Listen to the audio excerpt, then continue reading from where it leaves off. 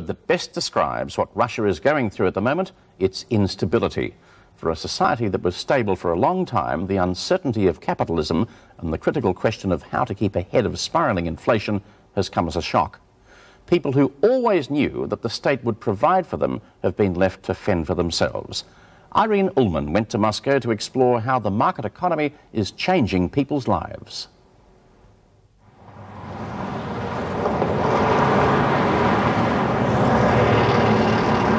Moscow, a city of 9 million, is the largest Russian city.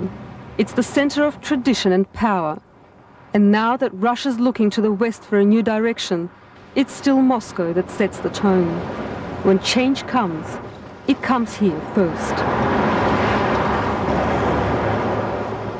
One of the visible signs of change is the growth of retail trade. Moscow is teeming with commercial activity. And just off one of the busiest streets lies one of the oldest surviving quarters of Moscow, the Arbat.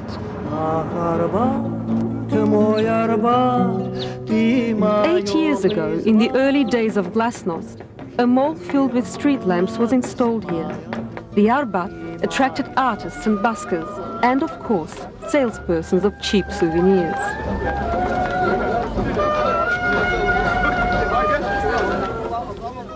But what was originally an expression of democracy and freedom turned into a market with an unromantic, nasty side to it. That came to an abrupt end a few weeks ago when the Moscow government banned all unlicensed trade from Old Arbat. The reason given initially was a temporary closure of the mall for spring cleaning. But the cleanup had deeper implications. The government had decided to regain control of illegal traders. Anton, a 21-year-old university student, was one of 3,000 or so moneymakers told not to come back. He still can't believe the ban is permanent. As he sees it, it's become a way of life for too many people. Здесь, конечно, очень много вообще народу кормил, потому что, например, люди сдавали квартиры под, под хранение товара, да им тоже платили какие-то деньги. Потом была, конечно, и мафия, и все что угодно. Было то, что, например, много э, маленьких кафе, здесь столовые, а они тоже об этого большие деньги получали. Потом бабушки носят пив, пиво разносят, э, бутербродики, сосиски горячие. Они тоже все время получали денег. Нищенки ходят, бабушки, подайте на хлебушек. Каждый им подаст тоже по рубликов по 10 и ничего. Они набирали так себе на жизнь, тоже хорошо. Кто еще? Ну и милиции тоже перепадало что-то. Коррупция везде у нас существует. Им тоже хорошо было. But for many local residents, trade in general and Arbat trade in particular has not been easy to understand or to accept. For them, the market is an alien force that came like a hurricane and turned society and its values upside down. They might agree that the market is a necessity, but its ugly side frightens them. Professor Aaron Belkin set up a clinic in the old Arbat seven years ago and saw the retail trade develop. He's well aware of the psychological factors that have split society. Some make money, others will always equate selling with cheating. Тут нужно понять, что в России всегда было отношение к спекуляции весьма негативное. Тут упирается в психологию людей. Новые экономические отношения, которые возникают в стране, непонятны людям. Они вызывают у них гнев. Как это можно торговать тем, что ты не произвел. Это всегда считалось уголовно наказуемым. И представьте теперь шок, который наступает у людей, то, что было уголовно наказуемым, вдруг становится вполне реальным. Edward's first experience of making money was here, on the Arbat, but he's since moved on to other business. A growing number of young professionals are now resorting to profiteering in order to catch up with the rising cost of living. The trend is to buy in bulk, anything at all, and sell it. Edward has been doing it for years. Illegally, of course. Bribes are still cheaper than taxes. Работал я во многих местах. У меня огромное количество профессий. Такой универсальный человек. Вот. Но нигде не было интересно. А вот на себя мне поработать было интересно и хотелось это сделать. Я этого добился, в принципе. Сейчас я уже, можно сказать, профессионал мелкого бизнеса. This is trade as many Muscovites see it. It's one of the reasons why many of them complain that reforms have turned a once great capital into a huge flea market. Outside the Kiev railway station, not far from the center of Moscow, buying and selling never stops. Behind the scenes are what Russians call the mafia, meaning organizers or middlemen behind the apparently simple exchange of money and goods. The amount paid for a trading spot depends on the place, on who the payment goes to, on the time of day, the season, the inflation rate, and on the rate of the dollar. A step further from street trade is the latest invention of retail commerce, the kiosk. No longer just a stall, but not quite a shop yet. There are over 4,000 such kiosks in Moscow. Only two years ago they didn't exist. Now they're everywhere. They sell a mixture of Western and East European goods. Some, we were warned, of dubious quality. But the bulk of the merchandise are alcoholic drinks and cigarettes. Rubles are accepted, although prices are high. But the aim is to make dollars. The US dollar is the only measure of stability here today. Вот, обстановка в стране сейчас сложная, напряженная, не знаю, что будет завтра. Вот, например, э, уборка ларьков и лотков была совершенно неожиданным мероприятием. И еще много таких вещей может произойти, поэтому люди стараются быть скромнее. Скромнее надо быть пока. Всю торговлю, которая здесь была, почему ее убрали, как вы думаете?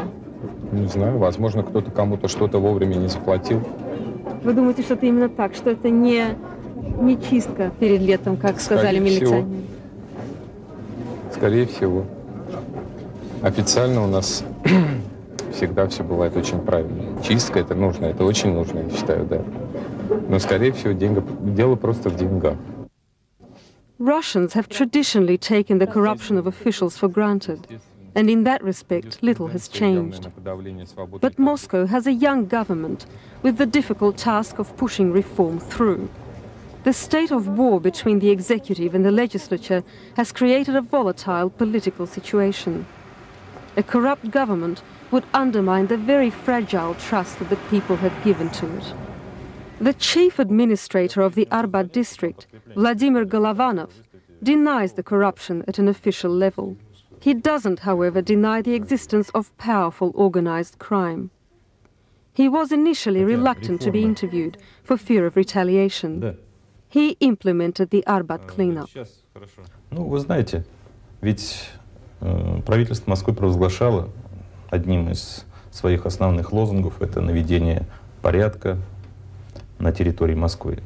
Ну, это один из, вы знаете, таких вот ключевых моментов, потому что Арбат, я считаю, это сердце столицы. Он как бы лакмусовая бумажка тех процессов, которые происходят у нас в столице.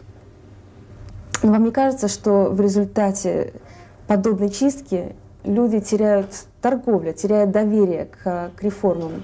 Понимаете, лю- лю- любые действия, они должны все-таки э, уйти от хаоса и прийти к цивилизованному такому виду. Конечно, в перспективе Арбат должен быть э, местом, где любили бы отдыхать и как жители столицы, и гости столицы. Первые этажи должны быть полностью превращены вот в такой центр, куда люди будут с удовольствием идти отдыхать, э, осуществлять покупки. Там должна быть создана та инфраструктура, без которой не может существовать ни как приезжий, ни как житель. These are ambitious plans, but not impossible. The money is to come from the budding local enterprise and from foreign investors. The Arbat Soup Kitchen was created last February with donations from private enterprise. Access is limited to 200 pensioners whose income is below the poverty line. Half of the Arbat population of 10,000 are old and needy. But Olga Kutsilova, who supplies food for the soup kitchen, is no better off than some of the pensioners. The market is where she buys cucumbers for the old people, or whatever else they can't afford to buy themselves. She's a single mother struggling to survive, and as far as she's concerned, free market and reform are, at best, meaningless words. Мне кажется, стало жить хуже, намного, намного хуже стало жить. А когда было лучше? Для меня лучше это времена застоя. Те времена я вспоминаю как голубые времена. Лично для меня были, для моей семьи. Like many people in the district, Olga lives in a communal flat. Шесть семей. Шесть семей. Это жить, это вот, знаете, надо иметь огромное терпение, чтобы жить в такой квартире. Никаких перспектив. Yet for some local residents, there may be a way out, once again with the help of private enterprise. The Arbat is a prime target for business people. 80% of the area is planned for reconstruction.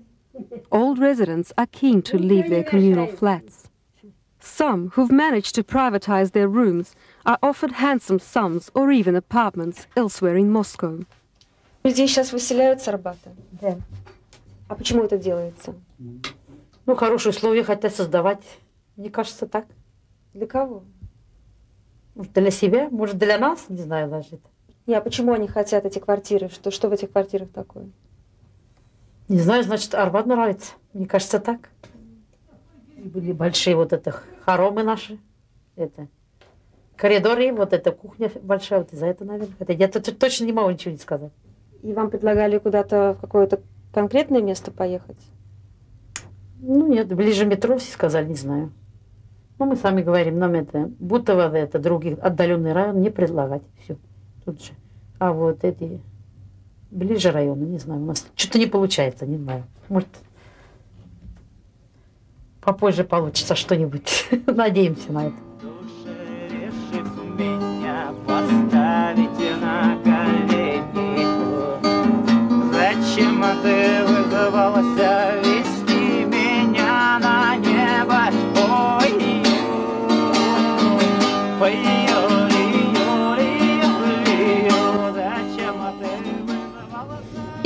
to be much easier to tell the difference between a foreigner and a local. But Moscow is changing. They still say here that no matter how you dress a Russian, he or she will still look like a Russian. But here, on Old Arbat Street, it's becoming obvious that those people who have the means to dress in a Western way are beginning to erase those hypothetical differences. The change may be cosmetic, but it's there. Мужики косматые досыки безделицы В принципе, хочется определенности, благосостояния, такого, чтобы можно было все-таки жить, не сводить концы с концами, как это часто делали и родители наши, и, ну, многие, многие из тех, кто жил в Советском Союзе. А все-таки, чтобы человек мог каким-то своим желанием все-таки давать какое-то выражение. Хотя бы даже самым маленьким. Хотя бы даже тому, что он мог бы себе позволить раз в неделю сходить в ресторан с любимой девушкой. Или э, поехать раз в год э, отдохнуть в Грецию, например. Или куда-то еще. Сейчас это уже более выполнимо стало. В этом, я глав- думаю, главное преимущество, в принципе. Того, что сейчас делаем мы. Того, что сейчас делает Россия.